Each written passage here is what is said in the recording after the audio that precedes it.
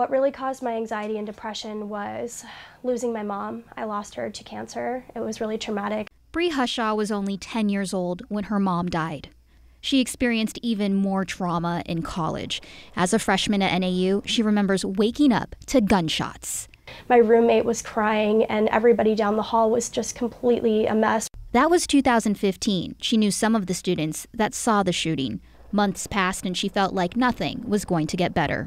I couldn't eat, I couldn't really breathe. I felt like every, the world was on me. I was thinking about suicide every single day. Therapy services at NAU were limited. I went on 14 different antidepressants. I had side effects of nausea. I gained 40 pounds. I gained um, hair. I had hair loss. I had appetite loss.